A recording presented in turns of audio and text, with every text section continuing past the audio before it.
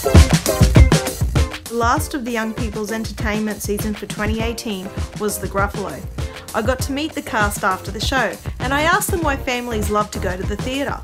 The best thing about this show is that it's inclusive of the adults as well. We, we feed a couple of little jokes in there. Um, and so we, it's, it, it doesn't feel like a kids show as such. You say it all the time. Yeah, it's a family show. Yeah. yeah.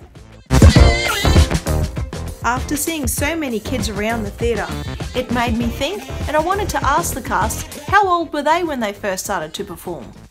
I was probably quite small, so uh, even in preschool, so from the age Yeah. of four, I was always Yeah. the one. Yeah, I was performing pretty much the same Yeah. from age two, three. But I think my first performance was singing Barbie Girl at my school talent show when I was six years old. I think mine was like I was a little teddy bear. I, I was playing the teddy bear in like um, school or something like Yeah. that. The MECC offers family passes for their shows for a fun and cost effective day out. It was also great to see so many of the kids waving to their friends from across the theatre. Ensure you sign yourself up for the MECC mailing list so you know what's in store for the Young People's Entertainment season of 2019. Rumour has it there's something big in store for families.